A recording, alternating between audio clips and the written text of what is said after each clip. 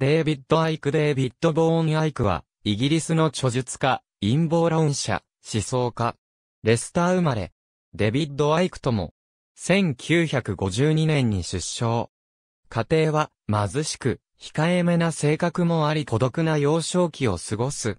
後のキャリアとは裏腹に、この頃のアイクは極度の人見知りであり、知人を見かけると道を遠回りし、話すのを避けるほどであった。猛烈な反宗教主義者である父親の教育により、規制権力を疑う性質を養う。学校生活に馴染めなかったアイクは、プロのサッカー選手への道を目指す。プロとして契約するには、実力不足ではありながらも、思いがけぬ偶然がいくつも重なりコベントリーシティ、FC との契約を果たす。しかし15歳という若さで、リウマチ性関節炎にかかり、走ることもままならなくなったアイクは1973年にサッカー選手を引退する。引退後はヘレフォードユナイテッド FC で監督を務めるも、ほとんど身体障害者となったこともあり、生活は厳しかった。引退時に TV で取材を受けたアイクは、この時の雰囲気が気に入り、BBC のスポーツ番組での解説役キャスターを目指す。21歳になり、アイクは BBC のテレビスポーツキャスターを務めるに至る。この役への道は険しく、初就任時は号泣して仕事に臨むほど歓喜したアイクであったが、すぐに TV 業界への魅力が薄れたことに気づく。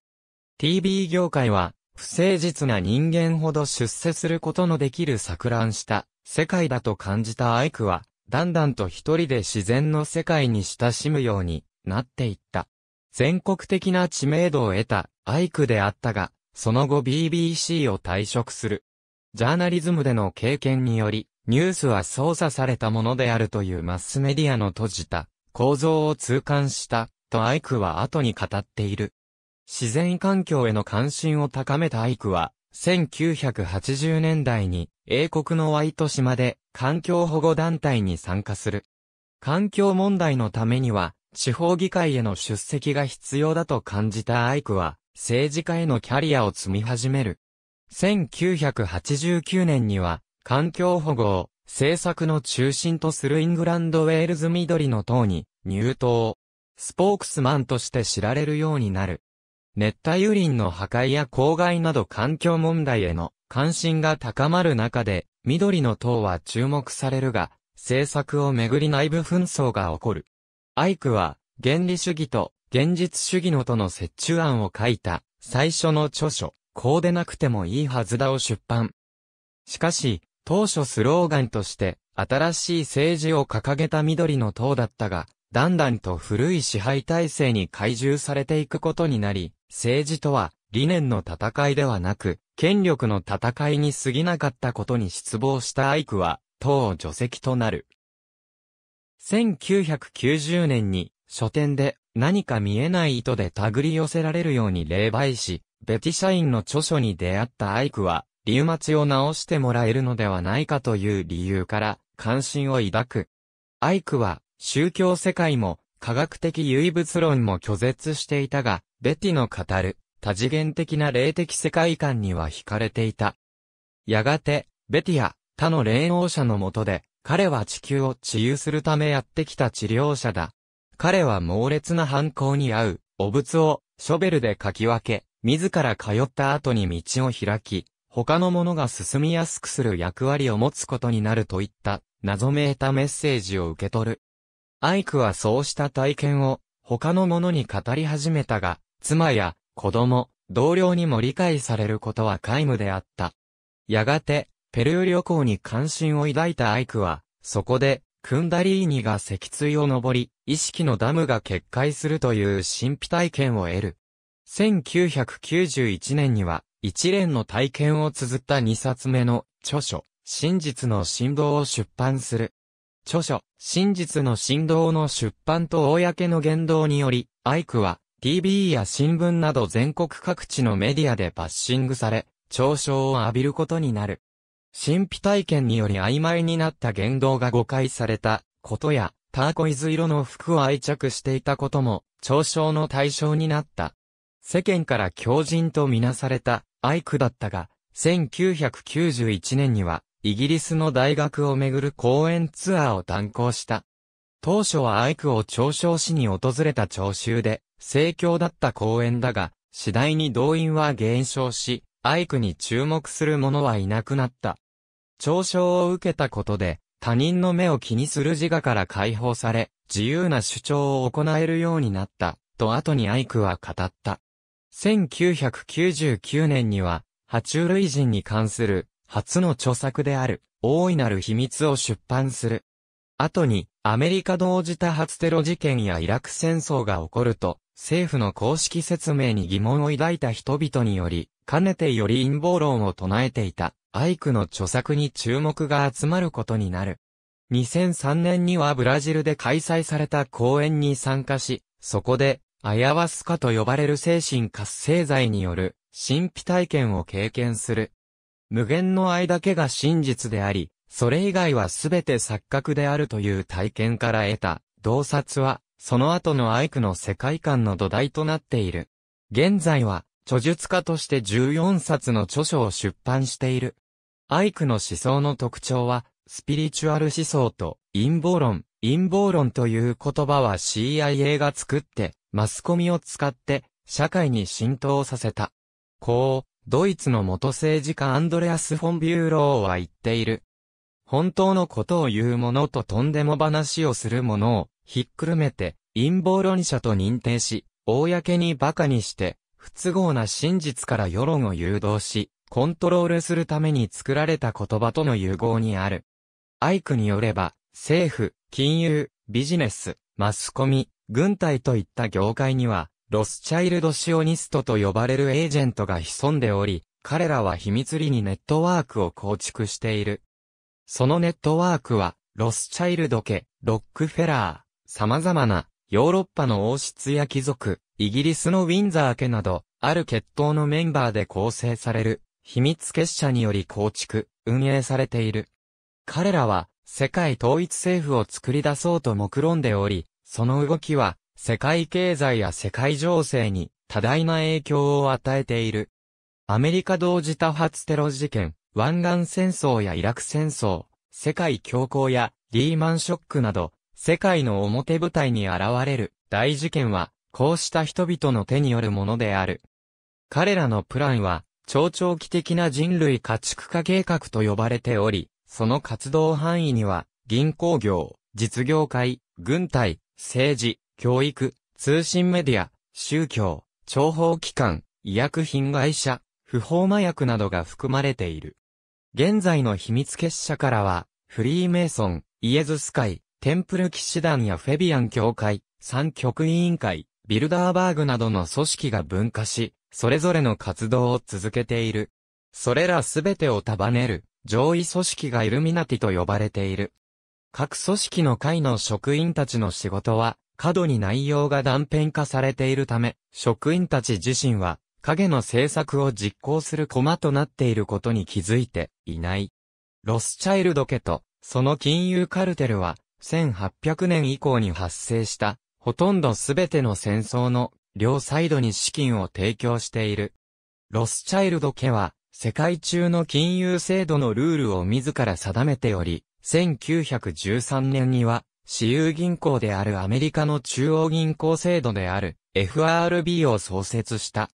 我々の知るお金とは、本質的にはエネルギーの流れであり、ロスチャイルド家は、お金のエネルギーが、自らの組織に流れ込むようなエネルギーの構造を築いた。マネーのエネルギーは労働として、等価交換された場合は、バランスの良い流れとなるが、彼らは、利子や信用といった概念を金融システムに組み込み、マネーをはじめから債務とすることで一般大衆のエネルギーを吸い取っている。エイブラハム・リンカーン大統領は、私立銀行によらない政府自身による無利子のマネーを発行し始めようとしたため、彼らにより暗殺された。アイクは自身の主張を反ユダヤ主義と混同しないように注意を促している。一般的に、ロスチャイルド家は、ユダヤ人の一族であると知られているが、これはミスリードであり、実際には、ロスチャイルド家は、ハザール人である。この血筋が、王家の血筋として、イルミナティでは重要な意味を持っている。そして、イスラエルは、ユダヤ人の故国ではなく、ロスチャイルド家による領国であり、一般に言われるシオニズムとは、ユダヤ人ではなく、ロスチャイルド家の利益になるよう図られた思想である。故にアイクは、自身の主張は反ユダヤ主義ではなく反シオニズムに属すると語っている。秘密結社が一般大衆を操る手口として、アイクは PRS と呼ばれる手法を挙げている。この手法の第一段階では、まず操作者がわざと問題を作り出す。第二段階では、そうした問題をある一定の方法で大衆に伝え、問題の原因となった悪役を作り出し、そちらに非難を集中させる。第三段階では、その問題の解決法を自ら提案し、世論を都合の良い方向に誘導していく。アイクによれば、PRS の典型的な例が9.11であり、この事件の発生により、アメリカの世論は、アフガニスタンとイラクへの侵攻に誘導されていった。また近年では、地球温暖化改め気候変動現象が注目されたが、これも PRS である。アルゴアが提唱したことで一般にも有名になった二酸化炭素が気候変動の原因であるとする炭素排出説は嘘であり、その目的は工業の破壊やさらなる課税、さらなる監視国家への移行にある。PRS は陰謀論、陰謀論という言葉は CIA が作って、マスコミを使って、社会に浸透させた。こう、ドイツの元政治家アンドレアス・フォン・ビューローは言っている。本当のことを言う者ととんでも話をする者を、ひっくるめて、陰謀論者と認定し、公に馬鹿にして、不都合な真実から世論を誘導し、コントロールするために作られた言葉の分野では、すでに有名な手法であるが、その先駆けとなったのは、アイクの著書とされている。アイクによれば、イルミナティなど、グローバルエリートたちによる、秘密結社は、爬虫類人と呼ばれる、別次元から来た霊的生命体に支配、操作されている。その論拠として、アイクは、以下の点を挙げている。レプティリアンは、シュメール神話では、アヌンナキ、ズールー族の神話では、ノンモ、古代インドの神話では、ナーガとして知られている。また、旧約聖書ではイブを誘惑した蛇として知られる存在である。ズールー族の伝統によると、創造のための破壊のために、太陽が創造したのが、爬虫類人であるという。ホピ族をはじめ、多くの部族に伝わる、古代の伝説では、人間が、蛇により堕落させられたことを語られている。アイクのレプティリアン説は、こうした神話の現代的な再解釈とも言える。アイクが収集した情報によれば、レプティリアンは、竜座や北斗七星、オリオン座などを拠点としており、太古の時代に地球を訪れたとされる。レプティリアンは、可視光線の領域にはいないため、人間の目には見えない次元間存在としてある。レプティリアンは、恐怖や欲望などの低いエネルギーを食料としているため、食料の供給源である人間を恒久的に囲うために別次元から人間社会をコントロールし続けている。レプティリアンの中には可視光線の範囲内で活動できるものも存在し、そうしたものは地下都市や月の内部に住んでいる。陰謀論では重要人物の調査を続けると最後には悪魔崇拝に行き着くと言われるが、これは人間の血液を飲むことで可視領域に長く滞在できるというレプティリアンの性質によるものである。かつてレプティリアンは人間に遺伝子操作を行うことで人間の DNA を削減し、人間の脳には爬虫類脳を組み込んだ。一般的に人間の脳の主要部分は爬虫類脳と呼ばれている。爬虫類脳は攻撃性や冷血性、所有欲や支配欲、脅迫観念や儀式的行動、服従、崇拝といった人間の性質に影響している。爬虫類脳は、現在の地位や権力、優位性や自意識を生き残れないかもしれないといった恐怖から守るように作用するため、すべての争いは、爬虫類脳から生ずる。また性的刺激やマネーに関わる商品広告はすべて爬虫類脳を標的にしたものである。現在のイルミナティの血筋は、レプティリアンの血筋から遺伝的に派生しており、人類と爬虫類が交配されたハイブリッド種である。そうした血筋の人々自身も、爬虫類の遺伝子コードを強く持つために、爬虫類脳に強く支配されており、生き残りへの恐怖が強いために、支配や服従といった生存方法に固執している。そのために陰謀を仕掛ける人々は、一般の人々を恐怖やストレスの状態に常に置くことで、爬虫類脳のプログラムに拘束し、支配を続けることで、自らの恐怖を和らげたいと望んでいる。同業の陰謀論者からの反応について、陰謀論とレプティリアン説については、前者は賛同されることが多いが後者は、受け入れられたことが少ない、とアイクは、著書で語っている。また、アイク自身もレプティリアン説については、受け入れがたい情報であった、と漏らしているが、長年の研究や神秘体験の末にそれは、確信に変わったという。デイビッド・アイクの著書の翻訳家であるため聖書美子は、レプティリアンを、蛇の神と置き換えれば、民族学ではよくある話になる、と指摘している。また、ためきよしは、吉野優子らの研究を挙げ、デイビッド・アイクのレプティリアン説を補強している。それによれば、日本の縄文時代にはすでに、蛇の神々を崇拝する文化があり、その信仰は、神社のしめ縄や身体である鏡という形で、残っている。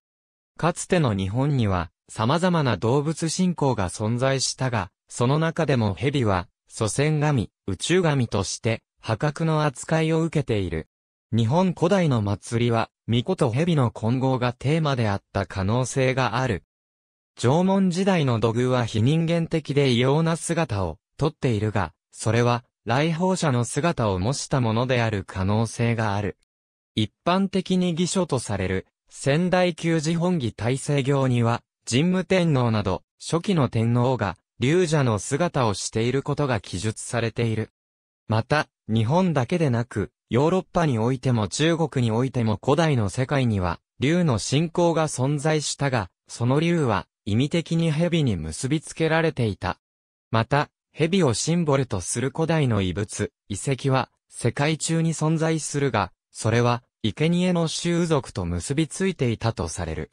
アイクの神秘体験によれば、存在するものすべては一つの無限なる根源意識である。そして人間が日常的に経験している五感の世界は同じことを延々と反復するだけの時間の間であり、アイクはこの世界を宇宙インターネットと呼んでいる。マヤ文明における時間の概念やヒンドゥー教におけるユガの概念などにある通り、宇宙インターネットは永遠に循環し続けるサイクルである。宇宙インターネットは情報の束からなる仮想現実であり、人間の肉体や脳は人間が宇宙インターネットにログインするためのインターフェースである。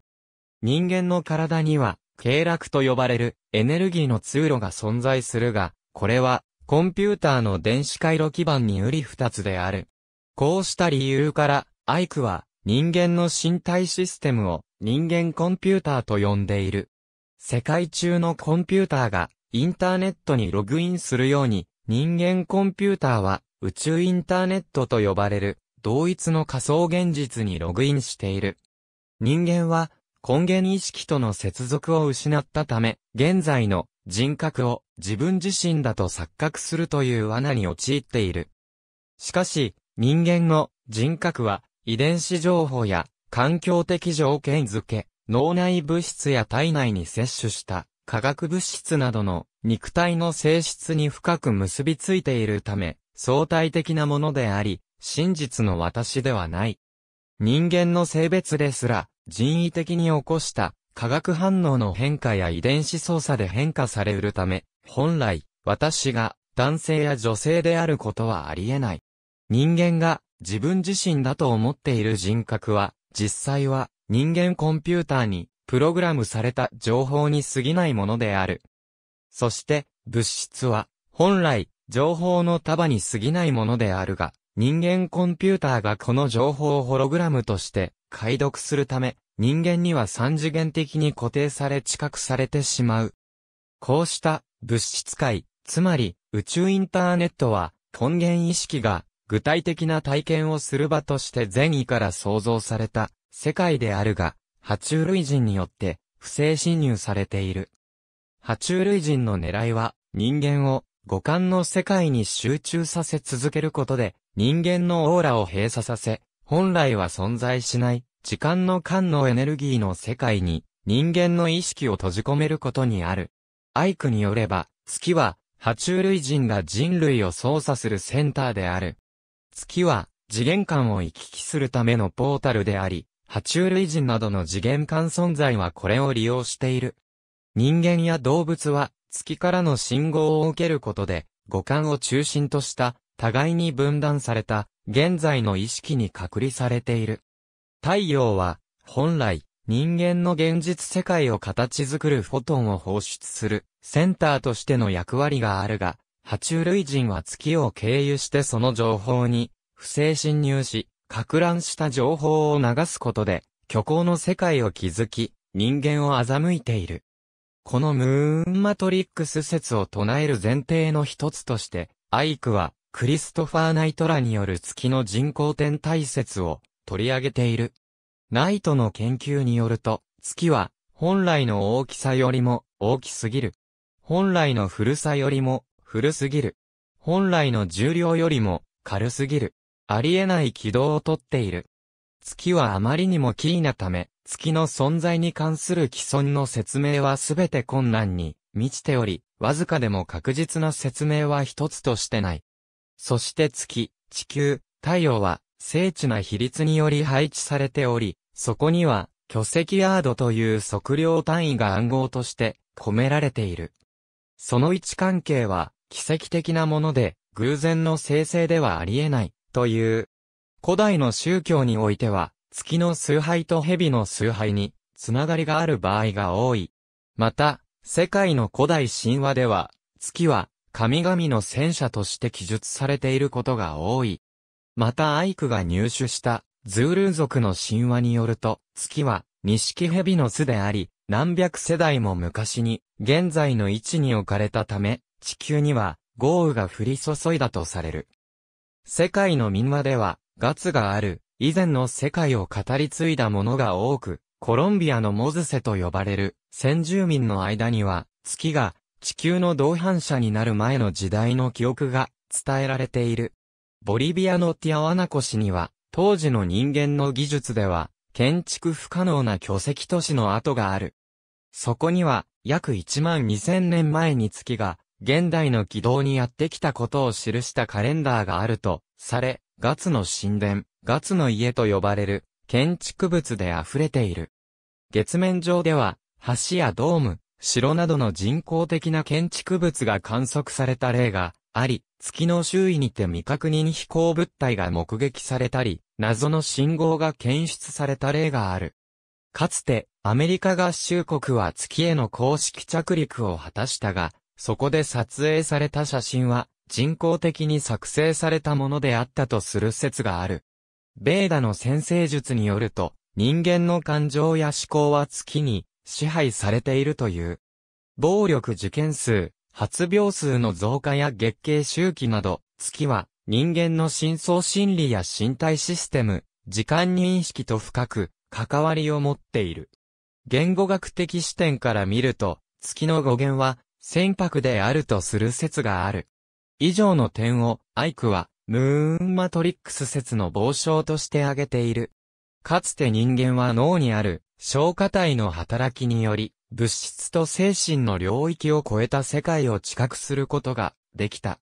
しかし月から訪れた爬虫類人が人間に遺伝子操作を行い、爬虫類脳を埋め込むことで人間を抑圧的な月の世界に同調させた。現代の社会では、電磁波や食品添加物など人間の意識を科学的に拡乱する技術を流通させることで、月のマトリックスによる支配を強めている。人間がマインドに縛られた意識から覚醒し、月のマトリックスの改ざんから切り離され、太陽のフォトンに再接続することで、あるものすべての意識につながることができる、とアイクは主張している。ネット上には常に陰謀論が溢れてる。